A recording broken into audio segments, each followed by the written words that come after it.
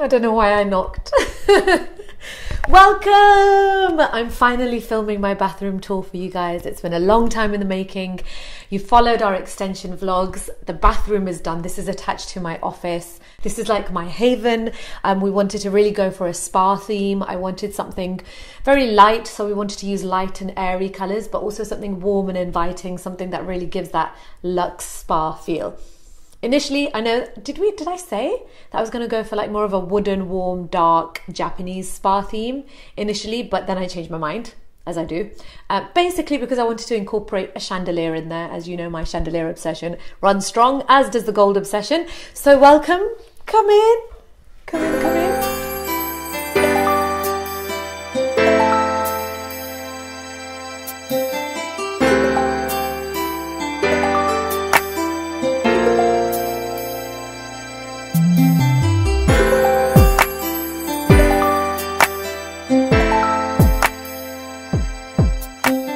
As soon as you step in, you literally are met with this warm, inviting aroma, and that is courtesy of this Jo Malone um, Reed diffuser. This is the Pomegranate Noir.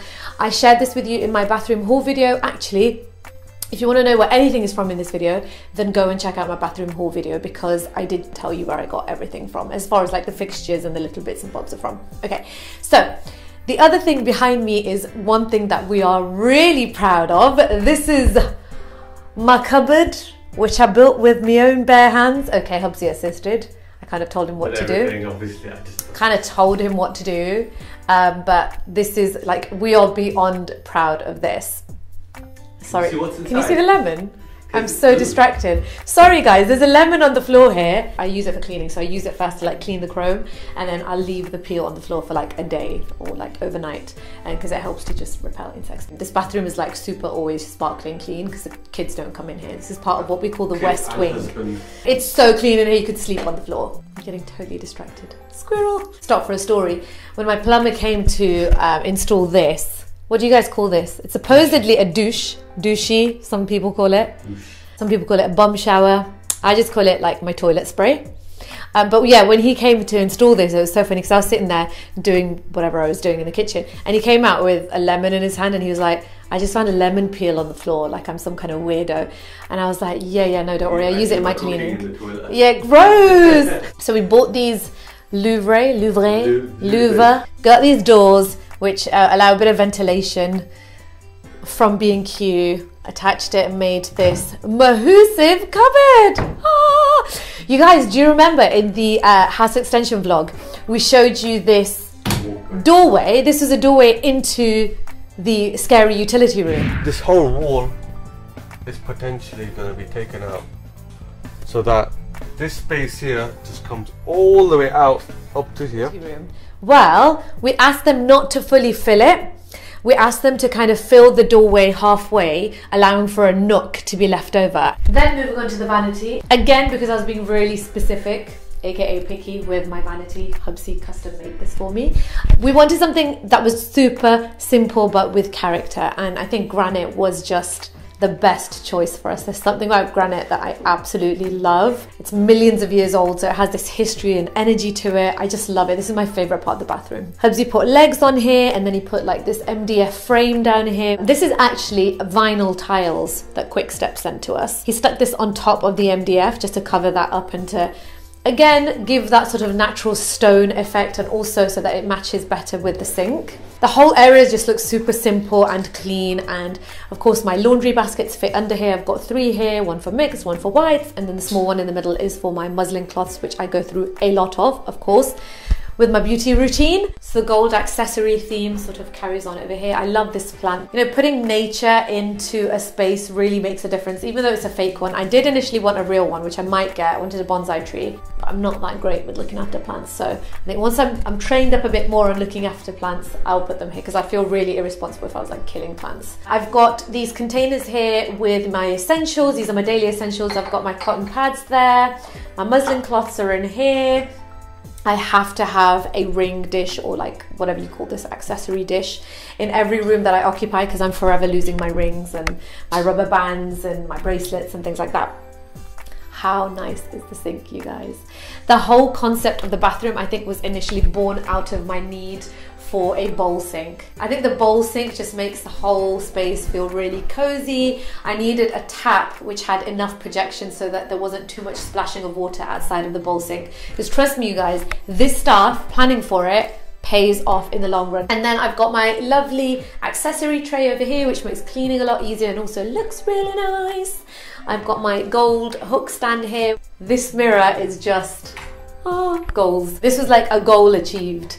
Um, initially, I was wanting to go for, because I didn't think that you could get mirrors this big, right? And I didn't even think to go custom. But Hubsy knows this place. He sorted it out for me. Initially, I was gonna go. I was gonna do the total Hyderabadi thing and go for like a very ornate mirror, which goes with the chandelier theme. And he was like, "No, keep it simple, keep it clean, and just get a massive mirror for that statement." And as soon as you walk in here, it definitely is a statement. I've got the above the mirror light up there, which of course we had to plan for ahead of time. Again, Hubsy.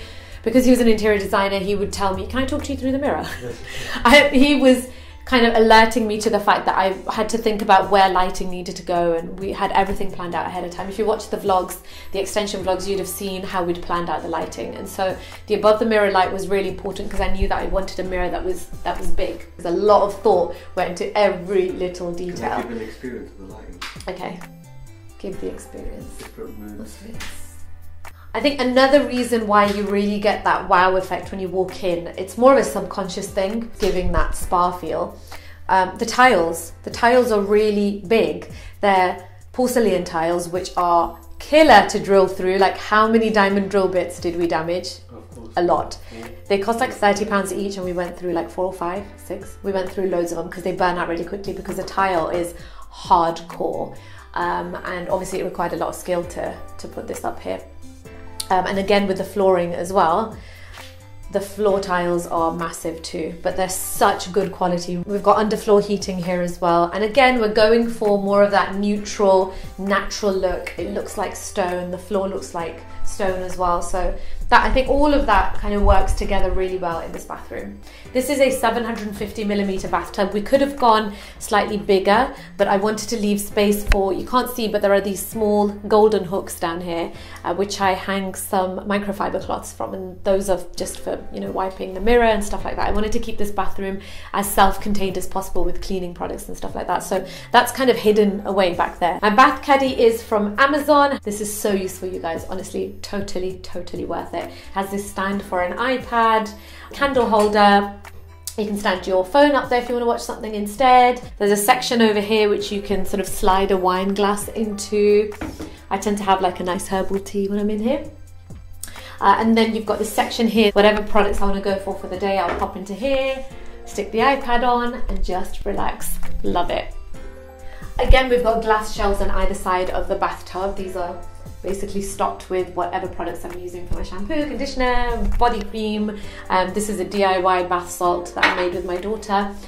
The shower is again oval shaped, going with that oval theme. And then on top of the shower, if you see that bulky bit, that bit, that is actually a shower filter to correct the pH level of the water. It's so nice to be able to just have out products that are just yours and use them and have them be there when you go to use it again because up until now obviously the family shared a bathroom and with two kids and a man and a man it is a challenge. um, so this towel radiator, it's not a towel warmer, it's like a proper radiator. It's connected to our um, central heating, so it goes on with the heating in the rest of the house and it gets really hot and just the, keeps the bathroom lovely and warm along with the underfloor heating. We wanted one that was quite tall. Um, I've got my hair, what is this, like a hair towel? Hair turban. This is from Primark actually, this is so good. Um, I've got my regular hand towel and then my personalised gown that L'Oreal gave to me. So that's about all.